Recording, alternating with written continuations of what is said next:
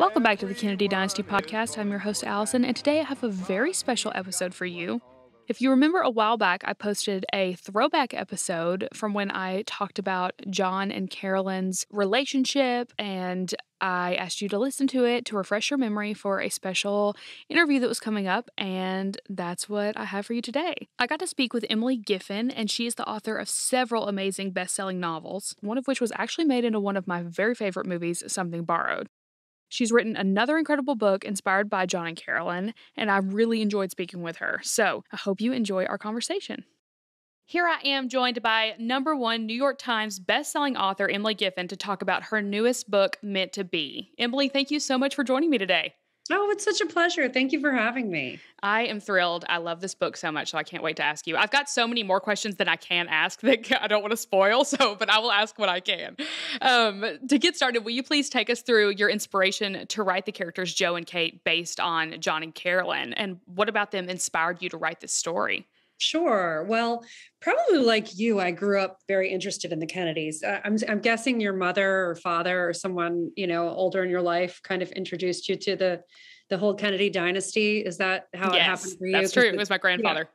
Yeah. yeah. that's how it was for me. For it was it was my mother, and um, you know there were just always magazines and pictures and books, and she told me the stories about just you know the family in general. I knew the cousins' names and. Um, you know, of course, the the cornerstone of that all was John and you know President Kennedy and Jackie, and she told me about you know her. She was watching a soap. She was in high school and she was watching. She was a senior in high school and watching her soap opera when Walter Cronkite interrupted eh, her her you know her daily soap opera with this bulletin that President Kennedy had been shot. And you know, I'd heard all of those stories and was aware of this whole notion of the Kennedy curse um, and the you know the, the, the all the tragedies that had befallen the family. And so fast forward as I grew older, um, I went to law school. Part of the reason I chose UVA, University of Virginia, was because you know Kennedy's had gone there, and I went to law school and then graduated and moved to the city. And this was during the um, mid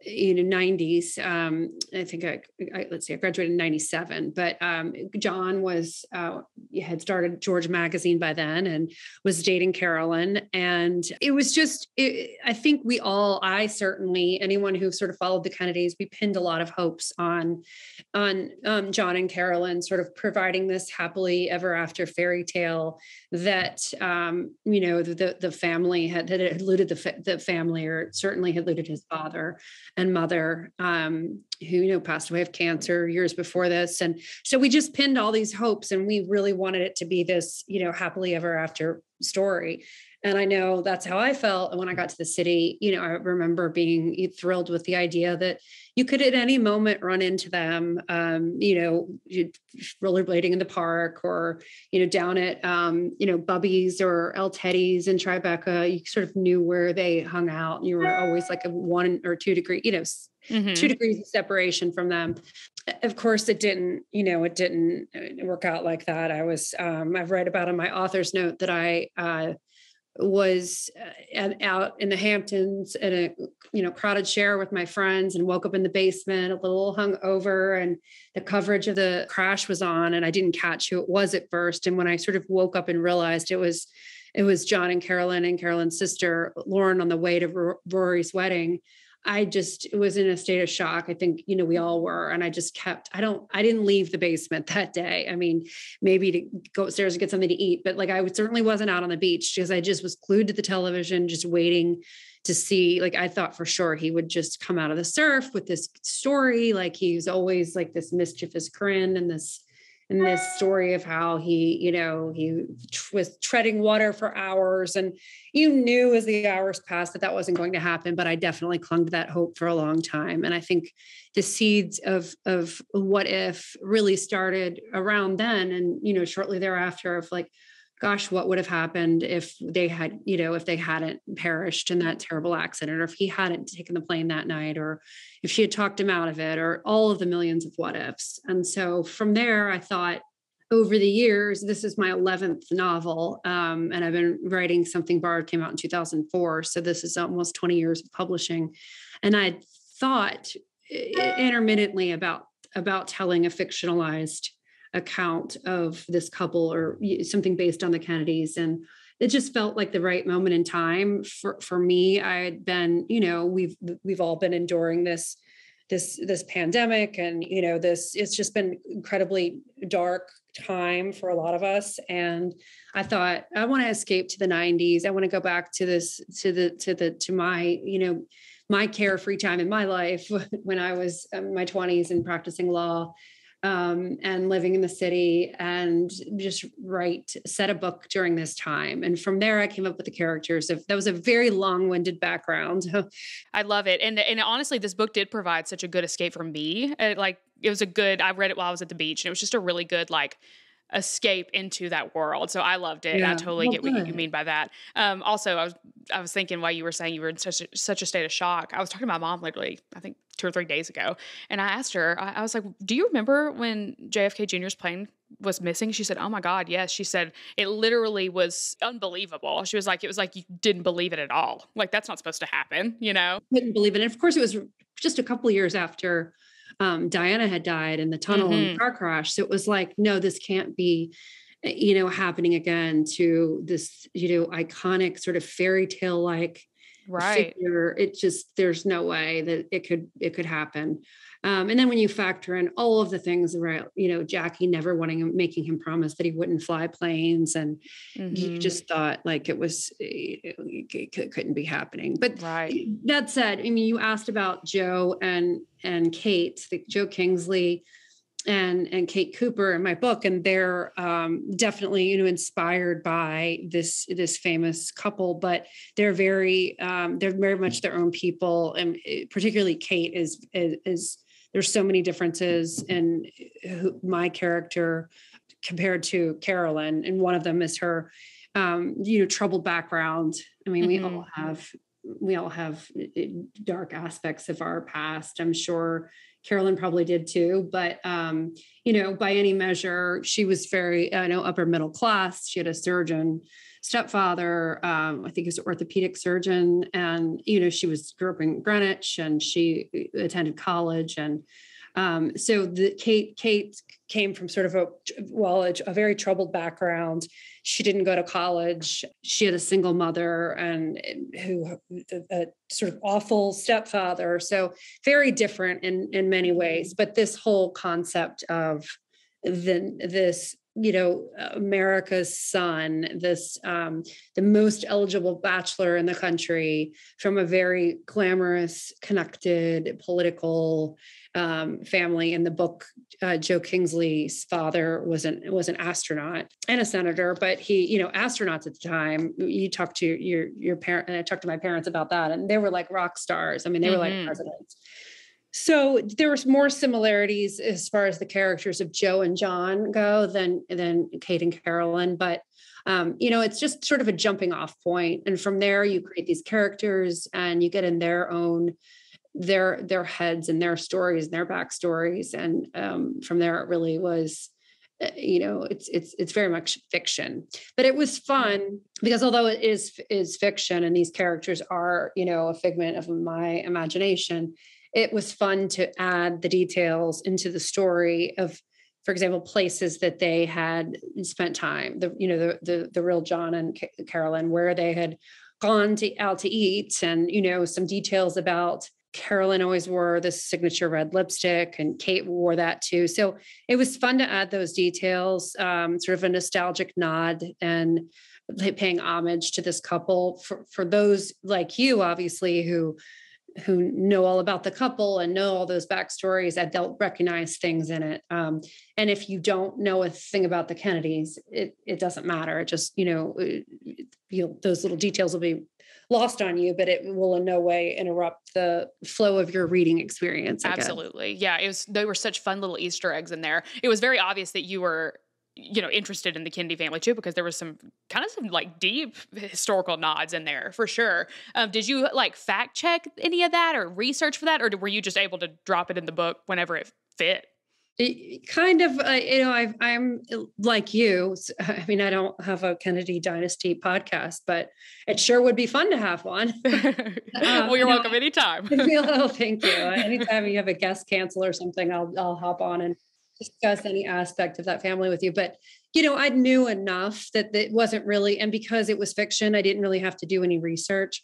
Um, that said, I did reread um, a couple of my one of favorite books, just really more, not so much based on research, but just because I was kind of going down that mental rabbit hole a lot in the in the beginning of especially when I first sat down to write the book. Um, you know, I'm just remembering all these stories and you know of his uh his I can't remember it might have been his 21st birthday. It's his 18th birthday in the book, but there was a paparazzi incident. And so some of those things are that I, I reread. But because it's fiction and because it's a novel, it, it didn't have to, there was nothing really that I needed to fact check. It was more just for for fun for me, for um to sort of, you know, go back over these these characters in the past and wow, it was so it was such a golden time in so many ways.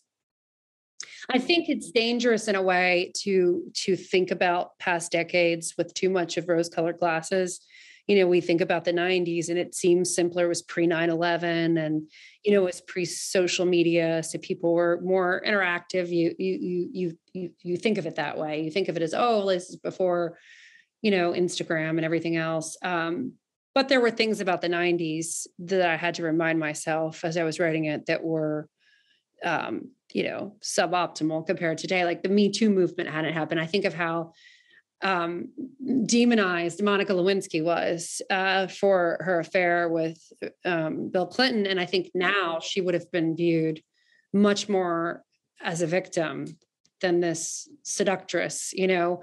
Um, anyway, that's kind of I'm kind of going off on a no, tangent. I actually talk about that all the time. My husband and I talk about that all the time. Yes, because it's such a thing. Like back in my day in the '60s, everything was great. It's like, yeah, uh, there wasn't yeah, equal rights for people yeah, at right, all. Like right. there was literally segregation. So you know, there's there's terrible moments in every right, period, but there's also beautiful moments in every period too. You know, exactly, exactly. And as long as you sort of in interviews like this you know, I'd always like want to just add the footnote. Like I'm like, you know, there's a lot of things that we're making progress on. But um, for purposes of writing this book and putting, you know, creating these settings, and it was more, it was just remembering some of the what felt like simpler, sweeter times and in, in, in some ways.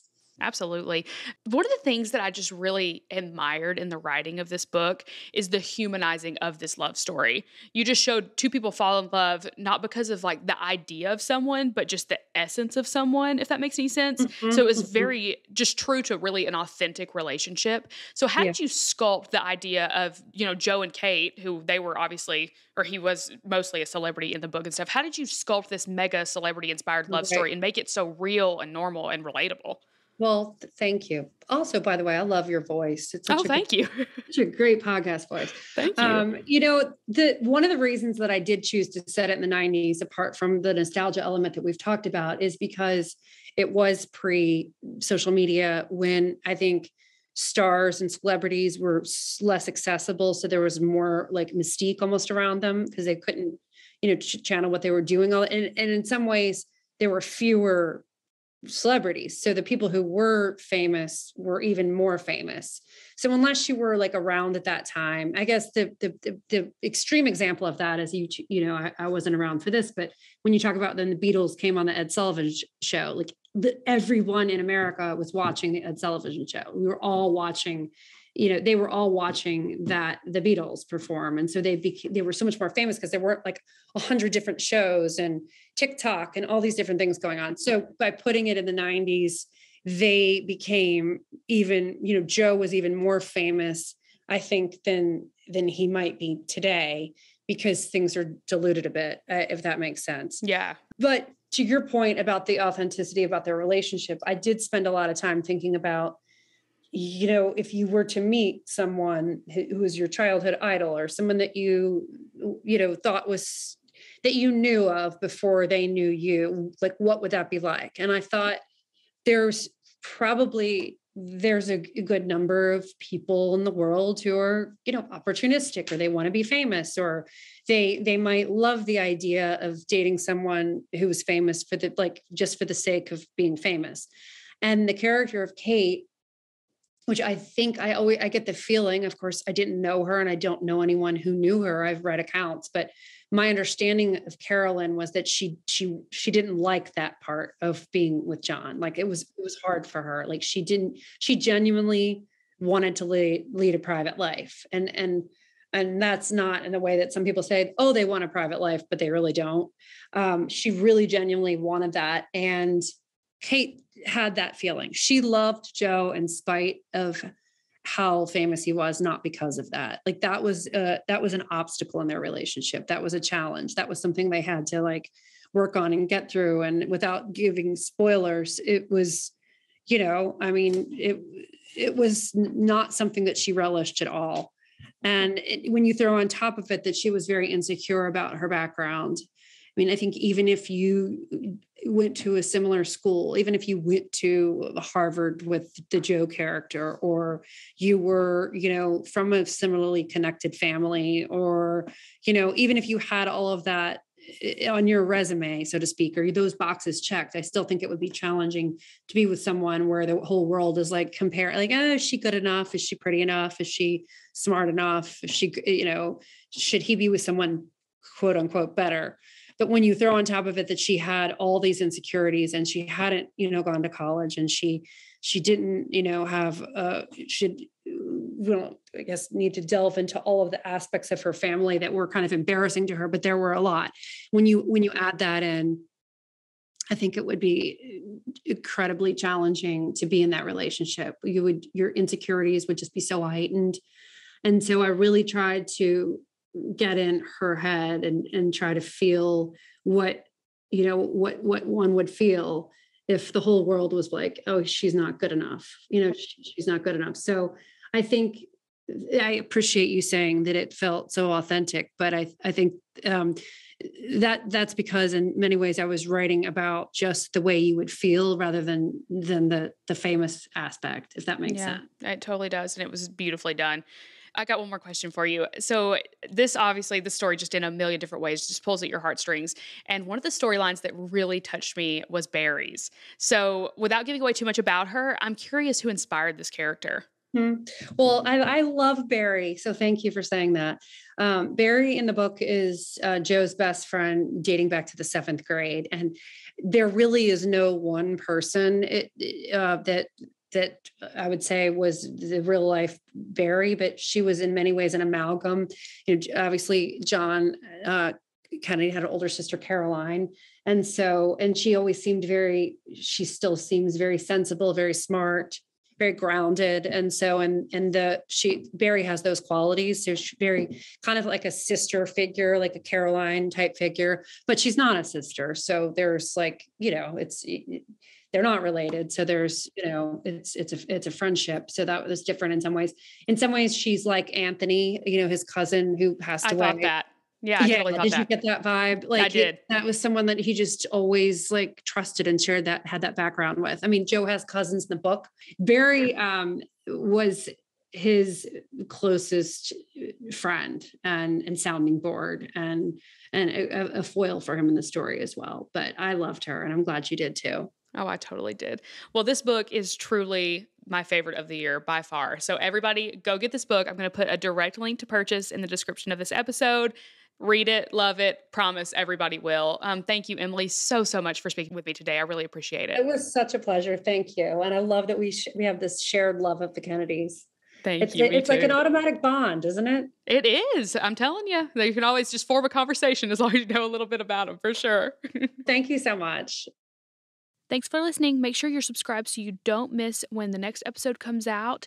It's the one where Dr. Natalia Molina and I recapped and chatted about Louis Bayard's new book, Jackie and Me, and it was a super fun conversation, so you don't want to miss out on that, especially if you participated in reading that book along with us. Make sure you're following me on Instagram at Kennedy Dynasty. And as always, it helps me so much if you will just take a second and leave a positive written review on Apple Podcasts. And if you can't do that or don't want to do that, at least bop it five stars, and that would help me so, so much. I hope you have a great week, and I'll talk to you soon. Come on and vote for Kennedy. Vote for Kennedy. Keep America strong. Kennedy, he just keeps rolling.